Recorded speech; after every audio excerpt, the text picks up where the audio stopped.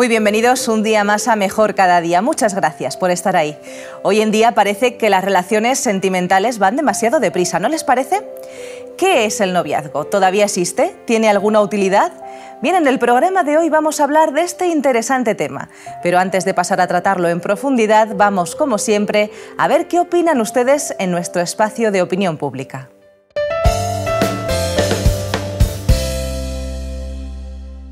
El noviazgo, pues igual que la amistad, es algo muy bonito que estás conociendo con una pareja, una persona que, no conoces de nada y que te lleva a descubrir un poquito más cada día y a quererla más. Un noviazgo para conocer a las personas, para llegar al mundo, a un paso más adelante a, casarte o vivir con ella. No sé, no sabría definirlo. Supongo que sería el siguiente paso a la amistad.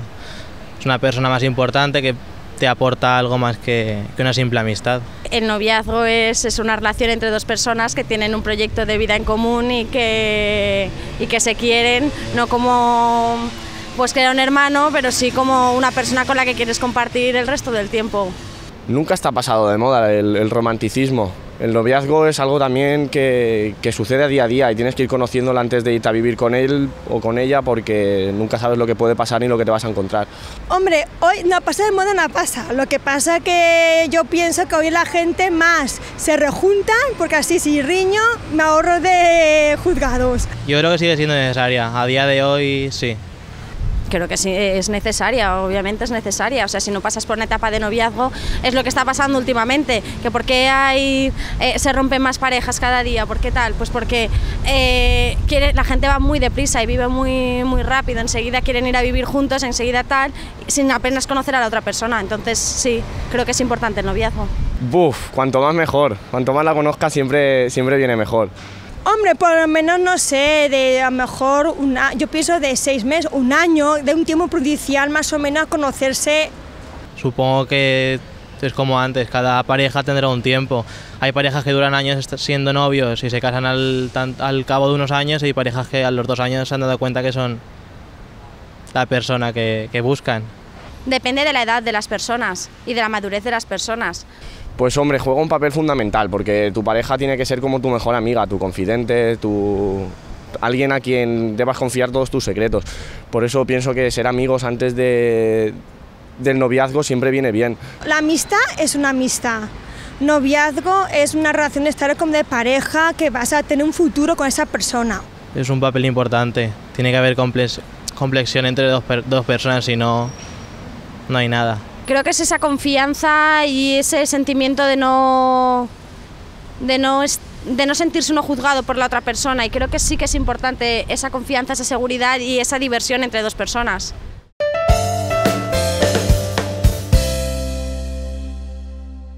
Gracias por todas esas opiniones que ustedes nos regalan. Pasamos ahora a conversar con nuestro invitado de hoy. Él es José Luis Lasso y es orientador y terapeuta familiar. Muy bienvenido, José Luis. Gracias. Estamos contentos de tenerte aquí para hablar de un tema tan interesante como este de la amistad en el noviazgo.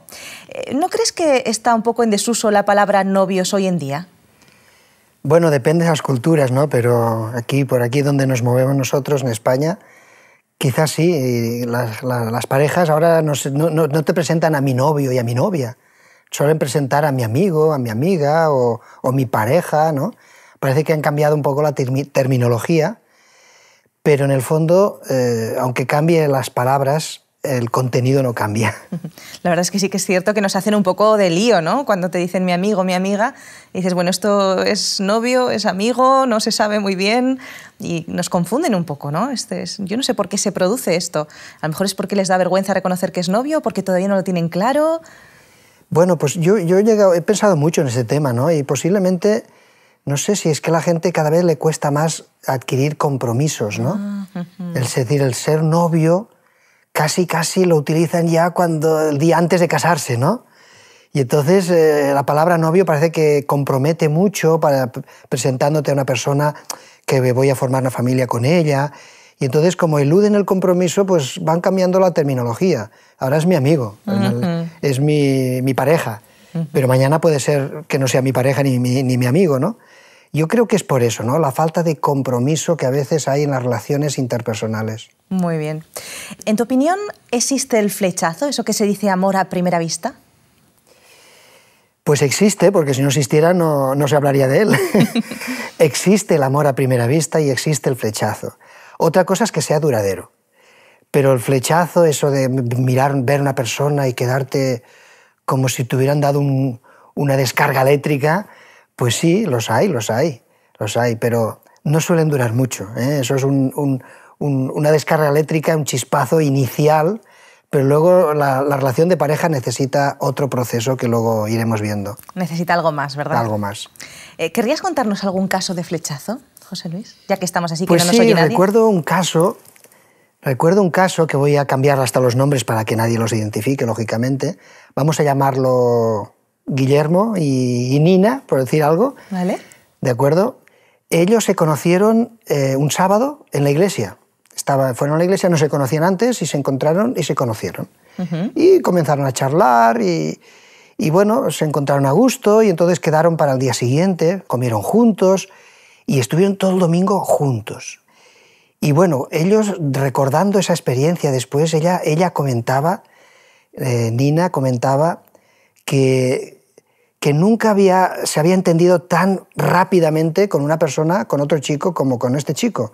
O sea, era como si se hubieran conocido toda la vida, como si fueran dos almas gemelas que, que se, cono- que se conocieran antes. Bueno, estuvieron todo el domingo charlando, todo el domingo, todo el domingo se, se sintieron tan a gusto. Le contó incluso cosas que nunca había contado a otros chicos. Se sintió tan cómoda con él y bueno, al final de ese día quedaron para salir toda esa semana, se, se vieron toda la semana, estuvieron viéndose, saliendo juntos, y al final de esa semana él le pidió casarse. No, en no una puede semana. ser. Sí, No. sí. ¡Qué locura! Y ella accedió, accedió a casarse. No. Después de una semana. Claro, no se casaron al final de la semana. Tardaron un mes. Al final, después Eso de un no me mes consuela. No te consuela. La cuestión es que él, recordando también esa, esa etapa, ese, ese flechazo que duró una semana, también dice, él, él lo recuerda con otros términos, dice que era la chica más inteligente y más hermosa que había visto en su vida, que se sentía atraído por, él, por ella, ¿no? Es decir, sexualmente se sentía atraído por ella. Él dice que necesitaba tocarla, que necesitaba acariciarla, se sentía como una atracción muy fuerte hacia ella. Y entonces al final de la semana le pidió casarse y ella le dijo que sí. O sea, los dos sintieron ese chispazo fuerte y al cabo de un mes se casaron. A los cuatro meses estaban separándose. A los cuatro meses. Qué lástima porque una relación que podía haber ido de maravilla dándole más tiempo, sin embargo, por correr demasiado, se estropeó. A los cuatro meses se estaban separando. Qué triste. Eso es porque no respetaron un poco esas etapas que tiene que haber en la pareja. Vamos a hablar de ellas, eh, José Luis. ¿Cómo son esas etapas de crecimiento que necesita la pareja? Pues mira, hoy en día todo está estudiado, pero eh, hay un estudio muy interesante de que las, la relación de novios, que llamamos novios, que es una relación sentimental, donde hay caricias, donde hay besos, donde es decir, si hay una relación sentimental por medio, ya no podemos hablar de amigos. Pasamos a otra etapa, ¿no? La etapa de amigos es aquella etapa donde los amigos salen, comparten muchas cosas juntos, pero no hay una relación sentimental. El momento que pasamos a una relación sentimental, pasamos de etapa. Estamos hablando de, una relación de novios, aunque hoy se resista la gente a, llamarle novios, ¿no? Pero eso tiene unas etapas también. Si corremos mucho y no cubrimos esas etapas, la relación tiene muchas, muchos números para que se rompa. ¿no? Entonces, la primera sería eh, esas citas casuales de amigos. ¿eh? La primera etapa sería la de amigos. Es importante que esa etapa dure como mínimo, dicen los especialistas que han estudiado este, este tema, entre 6 y 12 meses como mínimo una relación de amigos, de salir como amigos, sino relación sentimental. Esa sería la primera etapa, ¿no? ¿Son las mismas que las etapas del noviazgo, las etapas eh, que necesita, por las que necesita pasar la pareja, son diferentes? Sí, sí, estamos hablando de las etapas del noviazgo. Son las mismas. ¿eh? Estamos hablando vale. del noviazgo, sí. Entiendo que las citas casuales eh, son la primera etapa de, de la Eso amistad, es. donde todavía no hay una relación sentimental. ¿Cómo se produce después el, el flechazo y qué es exactamente? El flechazo es como, una, como un chispazo inicial, ¿no? como una descarga eléctrica, como un imán, como una, lo que uno, algunos llaman química. ¿no? Hay química entre nosotros, una fuerte atracción y una fuerte excitación de que esa persona te atrae muchísimo. ¿no? Entonces, eso es el flechazo. Eh, se produce nerviosismo, hasta las manos te sudan, es decir, el estar en presencia de esa persona es como un... te sube la adrenalina, es decir, necesitas estar al lado de esa persona, hablar con esa persona. Eso es el flechazo. Eh, necesitas incluso hasta tocarla, necesitas tener un contacto físico. Pero eso dura, mm, dicen los especialistas, en el estudio que yo tengo, unos dos meses. O sea, que vamos calculando tiempo. ¿eh? Dos meses de ese subidón tan fuerte donde, donde sientes que, que, que, esa persona te hipnotiza casi. ¿eh? Los especialistas dicen que en ese momento habría que darles de baja a los dos en la seguridad social, porque están fuera de la realidad, están viviendo una, una situación que es un poco artificial, pero existe. Eso es el flechazo, ¿verdad? Es ese chispazo inicial de salida. Bueno, después de ese chispazo inicial de salida, llegamos a la fase del enamoramiento. ¿Cómo es esa fase? ¿Qué ocurre? Bueno, después de ese chispazo, lógicamente viene esa fase de enamoramiento, que también dicen los especialistas que debería durar unos seis meses, para que veamos que todo requiere su tiempo, que no podemos, cuando uno corre demasiado y, va quemando etapas sin consolidar la anterior, pues es como si te lanzaras al vacío. Es muy difícil que eso se consolide. Entonces, la fase de, enamoramiento continúa el subidón del flechazo inicial. Es un subidón donde uno se enamora, idealiza a la otra persona, no le ves defectos, todos son virtudes. Incluso si el padre, la madre o un amigo te dice, mira, ves con cuidado que esta persona no es mucho de fiar, pero tú qué sabrás, dice, ¿no? ¿Y tú qué sabrás? Yo estoy con esa persona y el, y el amor, en la fase de enamoramiento, hace camuflar eh, muchos defectos de la otra persona y solamente ves las virtudes. Se produce un sentimiento de unidad, como si estuvieras unido a esa persona desde toda la vida, y a lo mejor la, has conocido hace poco, ¿no? Hay una fantasía de armonía eterna, ¿eh? creen que van a durar toda la vida, van a estar felices, siempre se van a amar. Eso que están viviendo en ese momento creen que lo van a vivir toda la vida, ¿no? Es la fase del subidón del enamoramiento. Interesante. Eh, después hay una fase que ya no me gusta tanto, pasa a tener que explicárnosla, la fase de desencanto. ¿Qué es esta fase de desencanto? ¿Ocurre en todas las parejas? Eh, no en todas, no en todas, dependiendo de la madurez de cada uno de ellos, pero lógicamente después de una fase de subidón, y que además es un subidón un poco artificial, porque estás hipnotizado, solamente ves las virtudes y no los defectos, pues llega un momento que después de unos meses uno empieza a ver también los defectos, porque todos los tenemos. Tú también los tienes. Sí, sí. Y yo también. Y tanto. todos tenemos defectos. Entonces la otra persona empieza a ver los defectos, ¿no? Y empieza a ver que, caramba, pues que no llega puntual a una cita cuando, y eso empieza a molestarme, o, cualquier cosa de estas, ¿no? Y entonces hay una fase de desencanto. Ya no es esa persona ideal que yo creía que era, sino que, caramba, tiene defectillos. Entonces viene un poco el bajón, ¿eh? es el bajón. Y entonces uno intenta modelar a la otra persona, no respeta la libertad de la otra persona, intenta hacerla de acuerdo a lo que a ti te gustaría que fuera, pero no respetas de cómo es. Entonces, en esa fase de desencanto hay mucho de eso, de modelar al otro, de corregir defectos, de no hables con la boca abierta o no comas con la boca abierta, o cosas de estas ¿no? Que, que, me molestan, pero antes no te molestaban, ahora sí. ¿no? Entonces hay una subida y luego hay una pequeña bajada. Hay un pulso de fuerzas a veces, a ver quién puede más. A mí me gusta esto así, pues, tú no, pues a ti no sé por qué te gusta así, porque esto es mejor, y entonces hay un pulso de fuerzas a ver quién gana, ¿verdad? Una, una, una especie de rivalidad, ¿no? Eso es otra fase. Interesante esa fase. Esperemos que no, no, dure demasiado, porque después llega la fase de estabilidad, que está así, nos gusta un poquito. Eso es. Después del subidón y del bajón, si la pareja supera esas dos fases, porque hay parejas que se rompen ya en la bajada, entonces se rompen, ya no continúan.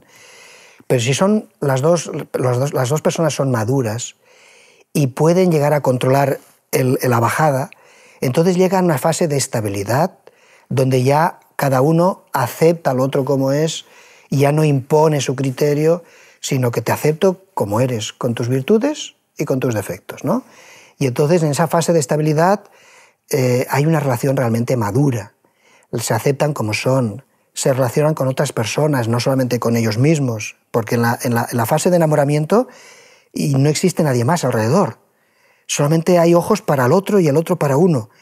Pero en esa fase de, estabilidad ya empiezas a contemplar otras personas, otros amigos, la familia, es decir, ya no es un yo y tú, sino que es un nosotros, nosotros rodeado de otras personas que forman parte también de ese nosotros. ¿no?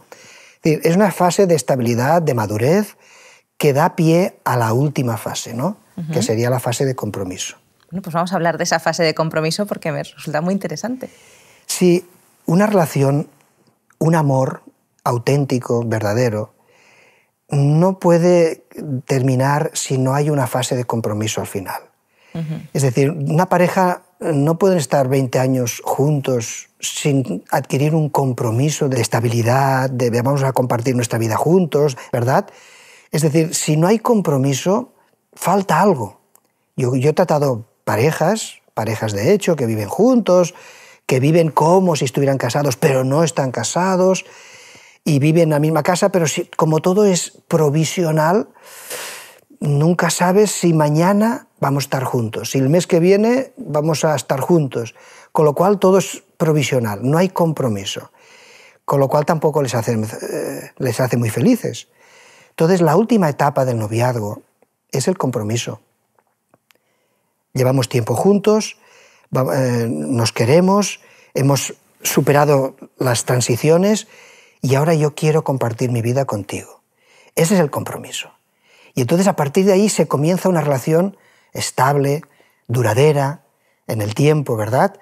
Que es muy bonito, que es muy bonito. Es complicado, ¿eh? porque hoy en día, igual que no se lleva mucho el término noviazgo, eh, pues el término matrimonio mm, también está tambaleándose, porque lo dicho, hay muchas parejas de hecho que dicen que no, que no, que ellos viven, como tú has comentado, como si estuvieran casados, pero no lo están. Entonces es eh, un poco, bueno, ¿y, cuál es el problema con casarse, no? ¿Por qué no casarse? Y ellos no dicen que es una falta de compromiso, ellos están súper comprometidos, pero no dan ese paso. Entonces, ¿qué, ¿qué es lo que pasa en la mente de una pareja para que, no, no, nosotros nos consideramos como un matrimonio, pero no hemos dado ese paso, realmente falta ese compromiso. Depende de las culturas, ¿verdad? Pero si los hijos han visto en sus padres a veces que tampoco son muy felices estando casados, pues ellos dicen, no, yo busco la felicidad de otra manera, mm, sin compromiso. Miedo al matrimonio. Miedo al matrimonio, miedo a estar atados por un documento. Pero eh, eso son, son olas, ¿no? Ahora estamos en esa cresta de la ola. Pero países, por ejemplo, que han vivido esta cresta de la ola antes con nosotros, como son los países nórdicos de Europa, ellos desde hace ya unos años están recogiendo velas y ahora están volviendo otra vez al modelo tradicional de familias donde el matrimonio o la pareja están casados, tienen sus hijos, porque finalmente da más estabilidad. Las parejas, de hecho, no dan estabilidad. Nunca sabes qué va a pasar mañana. Algunos tienen hasta cuentas eh, aparte, los gastos los comparten, es decir, yo pongo 100 euros, tú pongo 100, 100 euros, ¿verdad? Entonces, eso tampoco genera felicidad. Entonces, seguramente que cuando pase esta cresta de la ola de este momento, llegará un momento que volverán a, ver que eso tampoco da felicidad, entonces volverán otra vez al estado de matrimonio como está pasando en otros países. Bueno, es cuestión de tiempo, es cuestión de tiempo, ¿no? Porque la felicidad no te la da un documento, y eso es verdad lo que dicen ellos no es el documento que has firmado ante un juez que te da felicidad. La felicidad te la da el trato diario con esa persona. Y eso sí que hay reglas que son necesarias. Bueno, José Luis, ¿y cuánto tiempo es necesario que pase desde el noviazgo hasta el compromiso o matrimonio? Pues mira, los estudios que han hecho, han hecho este, este estudio, valga la redundancia, eh, hablan de dos años. Mínimo, mínimo, dos años desde que una persona se conoce hasta casarse, como mínimo. ¿Por qué dos años? Porque se ha comprobado que eh, una persona es capaz de camuflarse mucho su forma de ser, sus defectos, su, forma de ser. Durante dos años una persona puede camuflarse y no mostrarse exactamente como es. pero más de dos años es difícil que una persona se pueda camuflar. Por lo tanto, el tema de los dos años es importante para conocerse bien la pareja antes de tomar una decisión. No sé, José Luis, si hay incluso algún estudio sobre este tema. Sí, hay estudios. En la Universidad de, Kansas, por ejemplo, en Estados Unidos, ha hecho un estudio y ha comprobado que eh, las parejas que han estado más de dos años conociéndose antes de casarse tienen mucho más éxito y las parejas son más duraderas que las parejas que se han casado mm, precipitadamente antes de esos dos años. Hay estudios sobre eso. O sea, y, el motivo es ese, que durante dos años te permite conocer a la otra persona un poco más profundamente que, que, con menos tiempo, lógicamente. Oye, ¿esa regla de los dos años es solamente para jóvenes o también para las personas más mayores? Gracias por esta pregunta porque es muy importante. Ahora mismo estoy tratando una pareja ya de una cierta edad, que los dos están divorciados, con sus hijos aparte y tal, se han conocido y claro, creen, porque ya tienen 50 años, creen que ya lo saben todo en la vida. Y entonces creen que ya la experiencia anterior les ha podido ayudar y que tienen que correr más. Y es un error. Yo les digo, no corráis, necesitáis conoceros bien. Y es, y es necesario respetar esos dos años también. Pero normalmente esas edades ya no respetan dos años, quieren correr, quieren correr porque ven que, ven que la vida se les va y que ya no son jovencitos y quieren rápidamente conocerse y casarse y cometen errores a veces mucho más graves que cuando eran jovencitos. ¿Qué ventajas tiene y qué inconvenientes el haber estado casado antes para iniciar una nueva relación con otra persona? Pues mira, las ventajas es que tienes una experiencia y los errores que cometiste antes puedes evitarlos ahora. Desventajas, justamente la misma experiencia que a veces confundes y la relación que tenías a lo mejor dañina con la otra persona crees que la vas a tener también con esta. Con lo cual es una nueva relación, tienes que empezar de cero y tienes que empezar de nuevo con esa persona. Por eso es necesario estar un tiempo para, eh, y no precipitarse antes de tomar una decisión. Bien, pues ya lo han escuchado. El noviazgo sigue siendo útil y necesario y la amistad dentro del mismo es una herramienta importantísima para fundamentar correctamente la relación y eso lleva su tiempo. Así que nada de correr. Muchas gracias, José Luis, por haber compartido con nosotros el programa y habernos traído este tema tan interesante. Es un placer, como siempre. Y bien amigos, en estos momentos vamos como siempre a ese espacio tan interesante de resumen que se titula En pocas palabras. Vamos allá.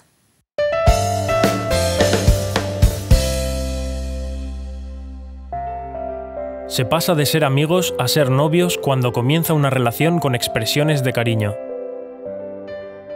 Las relaciones duraderas se establecen en largos periodos de tiempo para conocer al otro.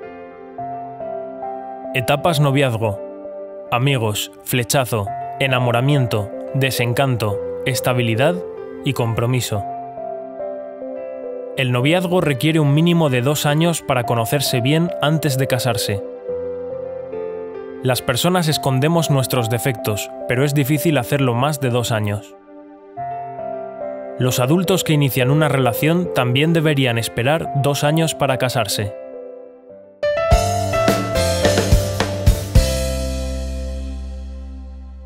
Bien, y hasta aquí el programa de hoy. Ya saben que les espero el próximo día. Pero antes, les recuerdo que tienen a su disposición esa web de la que siempre les hablo, hopmedia.es, en la que pueden disfrutar de interesantes programas de televisión y también de radio la carta. Tienen programas de cocina, programas de educación, muchos tipos de programas diferentes.